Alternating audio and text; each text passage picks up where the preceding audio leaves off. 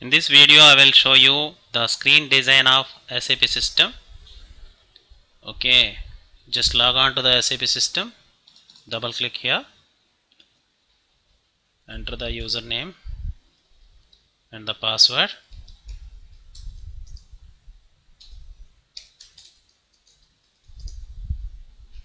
Okay, from here you just create a dummy user using SU01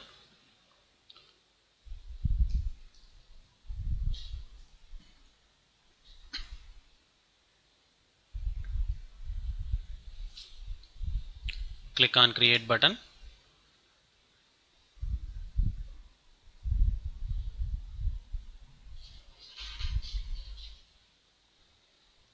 Okay, select title.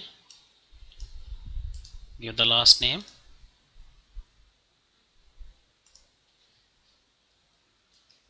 Put the initial password. Click on save button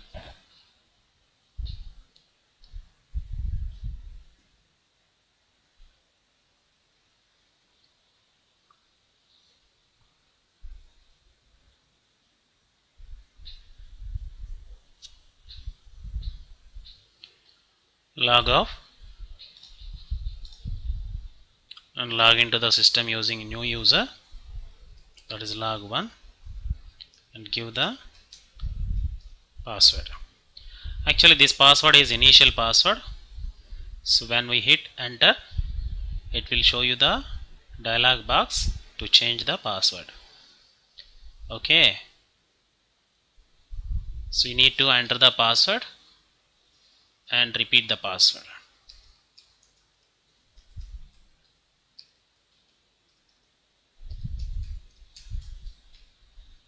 Hit enter. In this way you can log on to the system. Okay. And if you want to change the password again, you can't change. That is log 1.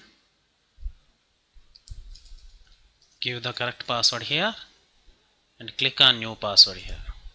So the system will allow you to change the password once a day. That means only one time an user can change his own password. So second time it is not possible. Just click continue to go into the system again. This is about changing his own password and changing default password at first login. Now let us go to next experiment that is log on to the system using SAP user. It is full authorized user with SAP all and SAP new profile.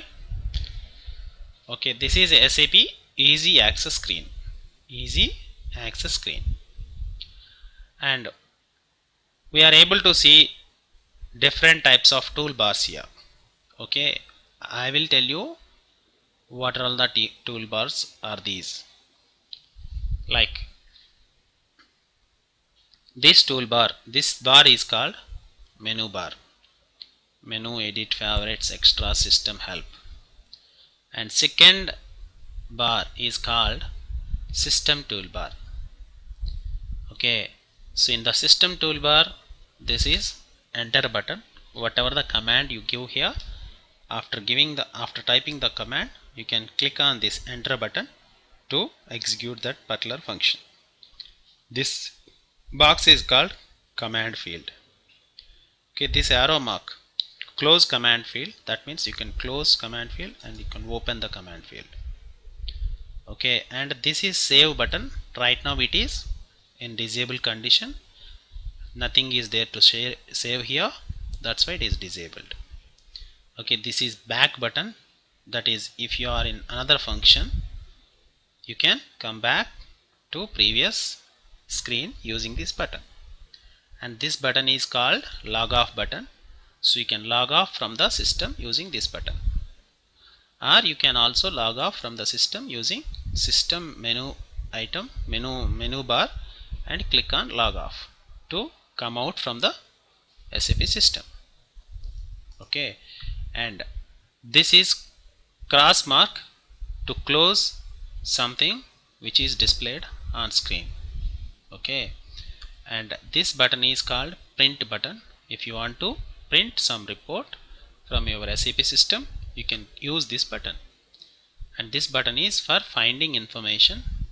And if you want to find extra information you can use this. Okay. And first page previous page next page last page and creates new session. If you want to create another session like this you can use this button to open another session. And this is for generating a shortcut. That means you can save the shortcut on your desktop using this button. And you can get the F1 help from here and this is customize local layout. The layout which is displayed here that can be customized using this button. So entirely this is system toolbar. And next bar is called title bar. Okay third one is title bar. And fourth one is application toolbar. This toolbar will be displayed according to the application open. That is function open okay. And last one is status bar. This is called status bar. Whatever the function is executing here the status of that particular function will be displayed somewhere here. And the system information also can be displayed from here. Okay. So this is about different types of toolbars available in the SAP system. And next we'll see how to find T code of a function. For suppose if you open a function using the navigation menu that is tools administration and monitor system monitoring and click on process overview just double click okay so that process overview screen will be open. The function name is process overview if you want to find out the T code of this particular function you can find out from system status. So so that you can view the T code of this particular function. So that means you can execute this particular function using SM50 T code okay. And also you can find out the T code from the status bar by clicking on this downward arrow. Okay. So from here transaction SM50 will be visible so that you can use SM50 to execute this particular function. So let us see that. Go back. So either you can put uh, type slash n or you can click on back button to go back to the previous screen from here just enter SM50 so with the T code also same function will be opened that is process overview.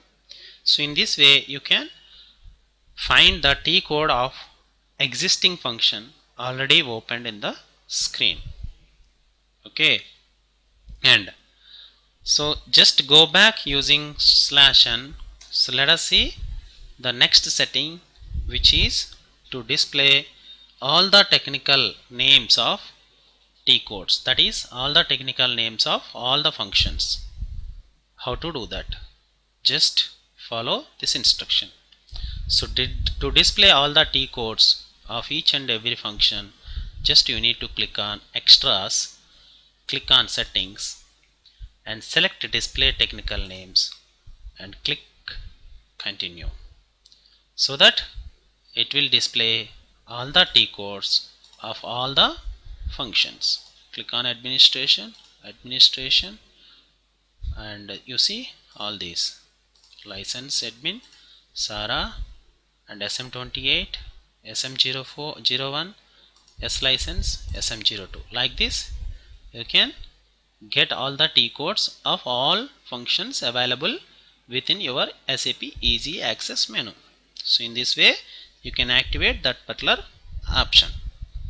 Next how to add additional text to your logon screen. So where is the logon screen? Just log off from here. Click as. Again you double click on the system entry so this is called logon screen. That is initial logon screen. See here if you want to display some text you can add it. How to add it I will show you now. Just log on to the SAP system using authorized user that is SAP user and the password. Okay once you enter into the SAP system just you need to type the T code SE61 okay. So this is called document maintenance initial screen.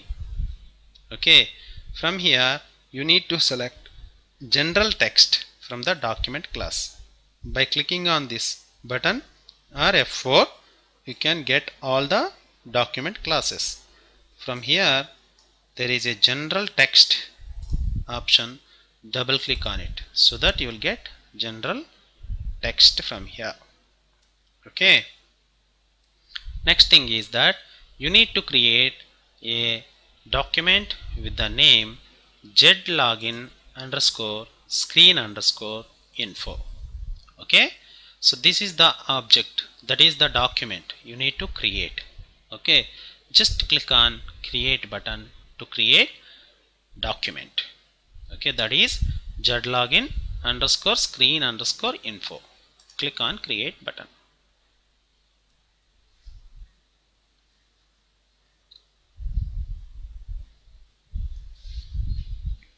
So the word document will be opened with that function. Just type whatever you want here. That is welcome to SAP basis online training okay? Just after entering your own text just click on save button from the application toolbar. And it will ask you to create an object with this name. Just you are not going to transport it. That's why instead of selecting package just you have to click on local object. That is local to this particular system only. Click on local object. Okay? So the document saved as raw version that will be displayed in the status bar. Okay? Now you log off from the system and log into the system for testing purpose. Okay? Now you double click on system entry from the SAP logon pad to see the change. So whatever the information you have entered in that document that will be displayed here.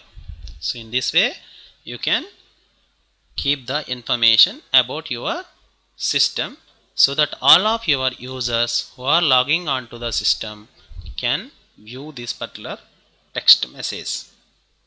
Okay. So in this way you can navigate within your SAP system. Okay. So let us meet with other options in next video. So thanks for watching